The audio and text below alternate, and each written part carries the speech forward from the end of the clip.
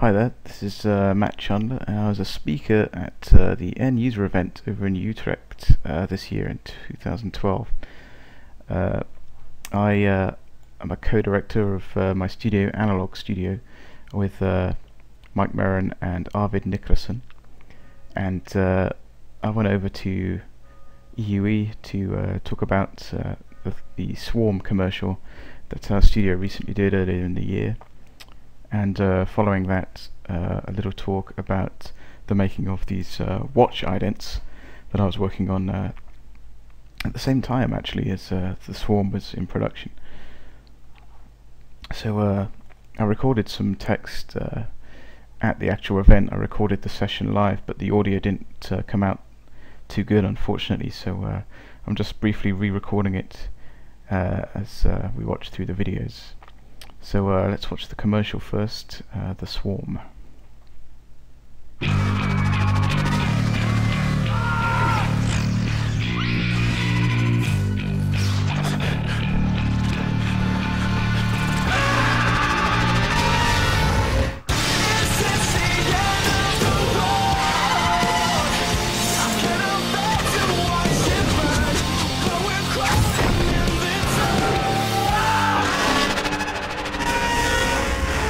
Swarm at Thorpe Park.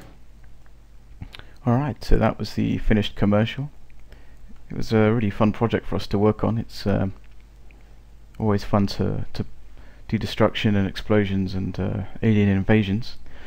So uh, this is one of the very first uh, previs animations that Arvid knocked together in a half an hour or so. Uh, after reading through the first version of the uh, the script and storyboard and uh, this was the next version assembled from uh, the director's uh, artwork boards Arvid uh, chopped them up added a little bit of motion in After Effects and uh, intercut it with um, more developed animatic. You can see from the layout here the the commercial was uh, laid out very early on. There was the buildings placement of the buildings and so on were established very early. But the original move was a lot different um, it's a lot longer as you can see in, in this uh, little test render as well. Uh, this was uh, put together by Simon, Simon Reeves, who we work uh, with regularly, one of our favourite uh, artists to work with. This is a, a V-Ray sky system, like a cached lighting setup, a light cache. The environment lighting doesn't change so much um, over 10-15 seconds, so uh, we just uh, rendered the animated object separately. And uh, here we can see a more evolved version with a lot of little 2D layers, matte painting being dropped in the back, a lot of fires on roofs. Uh, the commercial was shot in uh, South Africa and uh, Arvid went down there with Joyrider Films, uh, the production company we were working with, uh, to do the shoot all the street scenes were dressed to look uh, a little more English. So we can see now as the edits evolved, there's a lot more ride shots, uh, live action ride shots that were shot uh, second unit and dropped into the edit. And uh, now we have a few uh, little render elements, little render tests, uh, some big rolling fume simulations, various explosions. these were generated just to populate the scene.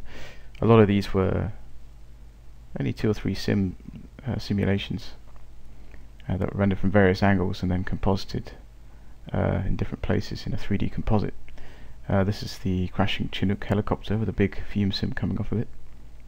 So here you can see the original uh, opening move doing like a corkscrew roller coaster move which is featured in the ride and then shooting down towards the plane. And uh, in the original move here we swung underneath the wing of the plane, just like uh, the ride does in reality, but uh, that bit was cut off the end. And here are some uh, little explosion elements for one of the buildings as we fly over.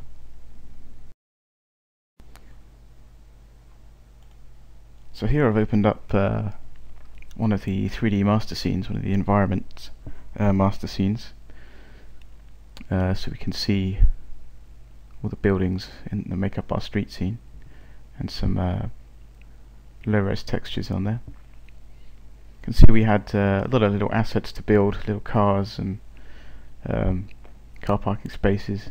Simon did a really uh, great job uh, texturing up the roads and things. He had a lot of uh, his own assets from other projects that he's that he's done that he uh, threw into the scene.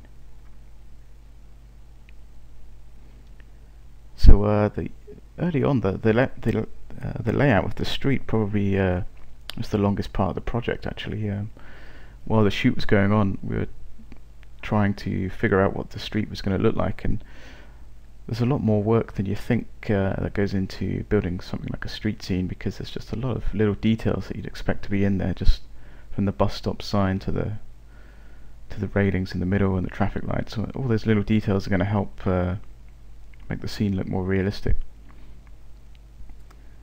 And uh, it wasn't particularly high poly scene, but uh, the more and more details that you you add in there, the heavier it's going to get. So here in the viewport, as we scrub through, we can see a little bit of the original beginning. Uh, there's a little garden down there that was uh, this was projection mapped onto uh, objects down there and uh, onto the things like a crash car. Because our camera move was uh, at this stage locked off now, it was it was critical to have a locked off camera move early on, so we knew what we had to build and what to detail up. You know, there's no point detailing the back of these buildings too much if we're never going to see them. So a lot of the texturing work was done kind of as a as a camera view, uh, camera dependent. So uh, things were projection painted uh, down onto models, just lining up uh, photographs of destruction in, in cars and painting them down onto onto models. So now we're inside uh, 3ds Max, uh, another scene inside 3ds Max, and uh, there was even little Apache helicopters flying around in the background that get blown up.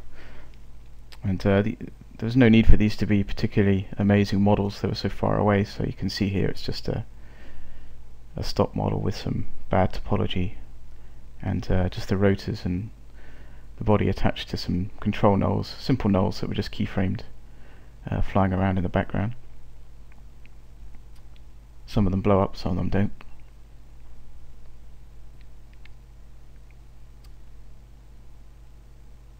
Here you can see uh, a little fume simulation that's going to run uh, on the bus stop or something that's blowing up. It looks like uh, it's like a little shop with a bus stop outside, and uh, there's like a little omni light inside which is animated to uh, light up as a little explosion comes out throw some debris out. A lot of the effects work was quite simple stuff. It was just uh, particle flow systems and uh, lots of rayfire uh, events that were just cached and moved around to populate the scene and uh, little fume simulations run on top of those. And uh, so this is uh, the helicopter crashing into the front of the building.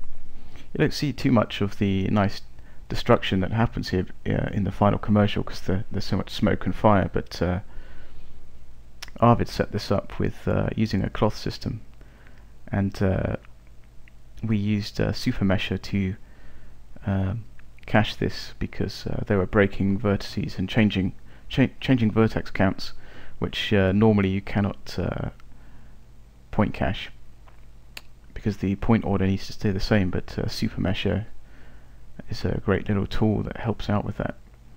So a lot of destruction in the scene and, and little uh, areas that could be cached we, we used uh, Supermesher to cache those out. So here we've just got a small uh, simple fume source uh, being emitted uh, from the helicopter. The fume grid is attached uh, to the helicopter and then we're just faking the direction of the simulation by blowing some wind uh, through the grid. There's a small rotor fire going on there.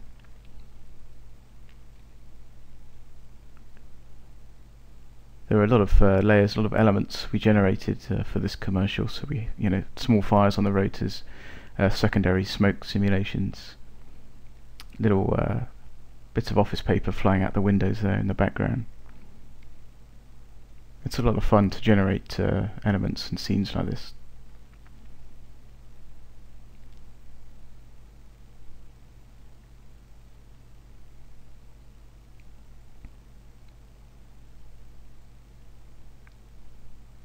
So here's just the uh, the cache file of the building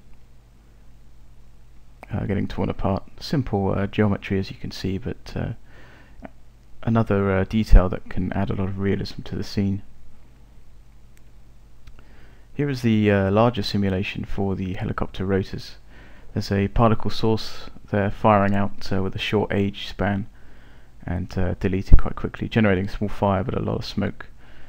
And this worked out really nicely with the camera move. The camera move swoops up through this smoke, just missing it, and uh, it really added a lot of depth to the scene. We really felt like uh, the helicopter was spiraling out of control and uh, traveling quite some distance away from camera.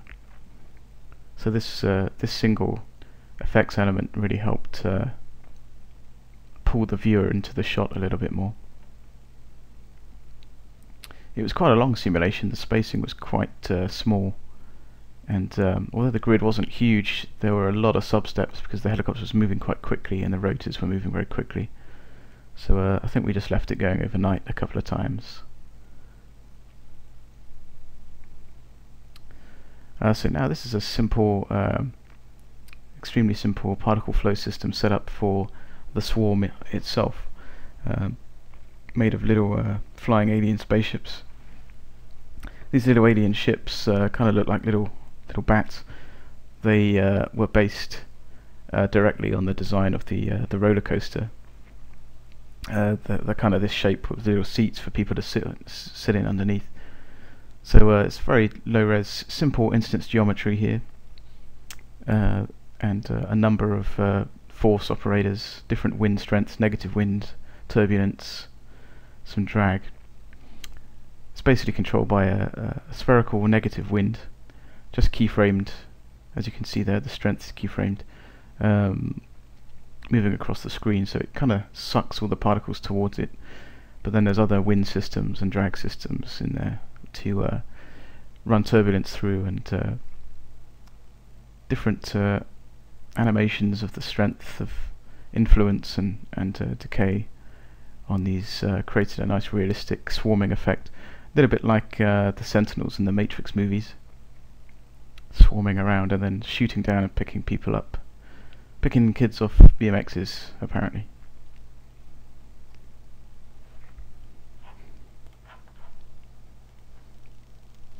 So here we have uh, a little uh, composite breakdown, kindly put together by um, Urban, one of our lead compositors on the project. You can see here uh, from the base render a lot of different passes and layers going on the buildings that were rendered out separately, uh, depth and alien uh, laser beams, smoke hits, helicopters in the background, little embers in the sky, which I believe were generated in uh, After Effects and laid in uh, before uh, having a final grade on our in-house DaVinci Resolve. So uh, that just about covers it for the material that I presented at this year's end user event. Obviously it's uh, not the full length hour talk unfortunately. Uh, there was a lot of Q&A at the end of the talk and uh, it was uh, good fun to meet everybody and discuss uh, different workflows and methodologies doing this kind of work. So uh, thank you for watching the presentation, making your videos and I'll play the commercial one last time.